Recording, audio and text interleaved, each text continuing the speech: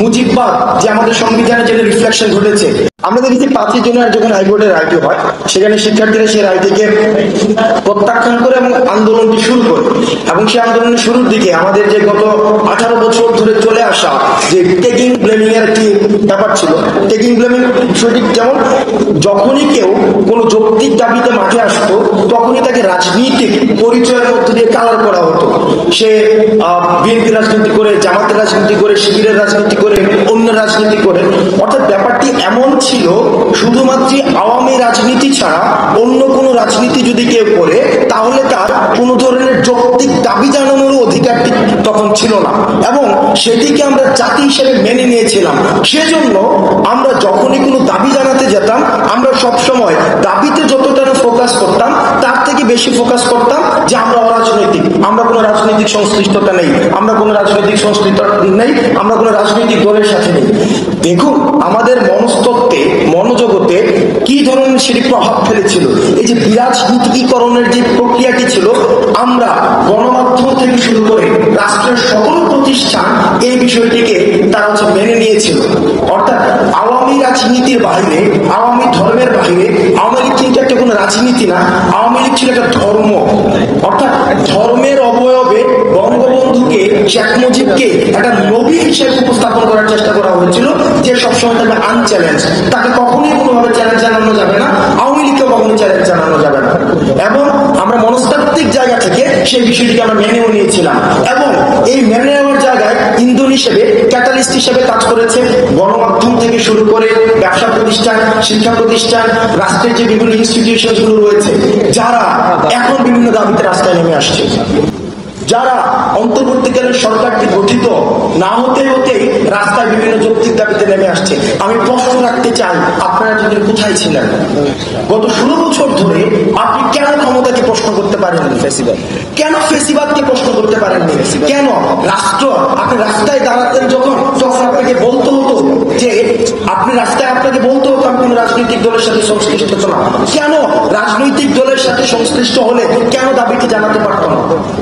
আমাদের এই জায়গাতে প্রশ্ন রাখতে হবে, আমাদের চিন্তা জগতে একটি প্রশ্ন, আমাদের সবসময় রাখতে হবে, এই যে আমরা ক্ষমতাকে প্রশ্ন করা শিখেছি, সেটি ধারাবাহিকতা অব্যাহত রাখতে হবে।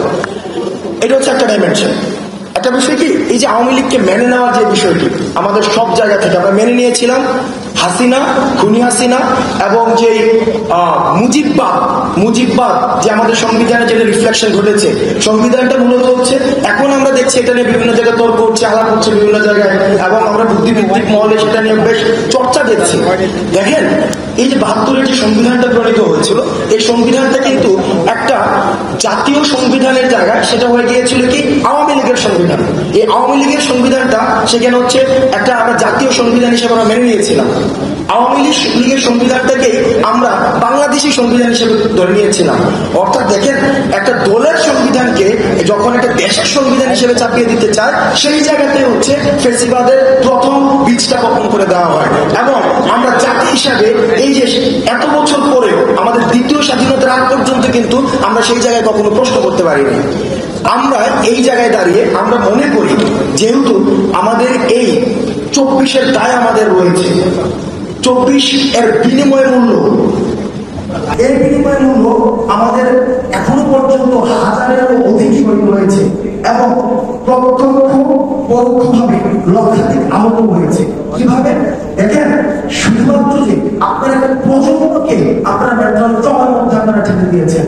এই যে আপনাদের সামনে যারা রয়েছে আপনারা ভাষা বুঝতে পারেন একটা প্রজন্ম এই প্রজন্ম মেন্টাল ট্রমার, এই ড্রাইভার যারা একাত্তরকে পুঁজি করে, যারা মুজিববাবকে পুঁজি করে, যারা হাসিনাকে পুঁজি করে, শেখ মুজিবকে পুঁজি করে, যারা চব্বিশ পর্যন্ত ফেসিবাদকে টেনে নিয়ে এসছে, এই প্রজন্মকে এই মেন্টাল ট্রমার যে ফেলেছে, সেটির ড্রাইভার তাদেরকে নিতে হবে।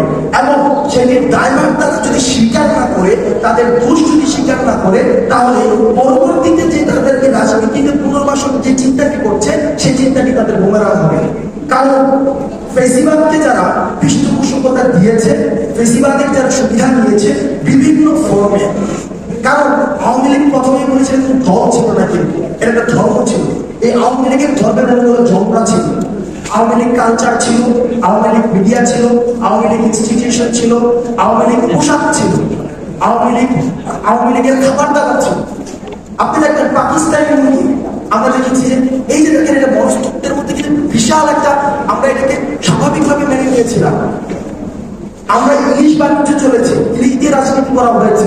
অর্থাৎ আমাদের প্রত্যেকটা টুলস ইনস্ট্রুমেন্ট এই ফেসিজম যে মাথার মঞ্চ, মগজে যেভাবে ছেঁকে বসেছে, গেড়ে বসে বসেছে, এইটার সম্পাদন করতে হলে আমাদেরকে যে কাজটা করতে হবে, সেটা হচ্ছে আমাদেরকে ইউনাইটেড থাকতে হবে। আমাদেরকে কীভাবে ইউনাইটেড থাকতে হবে? দেখেন যখন কনস্ট্রাকশন ডিস্ট্রাকশন হয় কোনো কোনো কিছু ডিস্ট্রাকশনের সময় সবাই এক হয়ে যায়। কিন্তু কনস্ট্রাকশন যখন যখন ঘটে যায় তখন সেখানে বিভাজনের রাজনীতি সৃষ্টি করা হয়। যেমন আমরা দেখেছি যখন সাতচল্লিশে দেশটাকে ভাগ করার কথা ছিল তখন আমরা দেখেছি সবাই এক হয়ে গিয়েছিল। একাত্তর মুক্তিযুদ্ধ হয়েছিল সবাই এক হয়ে গিয়েছিল। আবার চব্বিশে যখন উনি ফেসিবালকে আমরা প্রথম ঘটাতে চেয়েছিলাম, সবাই এক হয়ে গিয়েছিল। যখনই এখন আমরা বিনির্মাণের দিকে যাচ্ছি, পুনর্গঠনের দিকে যাচ্ছি, তখন আমরা দেখছি আবার বিভাজনের যে রাজনৈতিক যে টুল সেটাকে আবার ইনজেক্ট করার চেষ্টা করা হচ্ছে। কিন্তু আমরা ছাত্র নাগরিকদের পক্ষ থেকে আপনাদেরকে বলতে চাই, আপনারা যারা বুদ্ধিবৃত্তিক মনে ফেসিবাদী রাজনীতিকে পুনর্বাসন করতে যাচ্ছেন, আপনারা ফেল মারছেন অনেক আগে।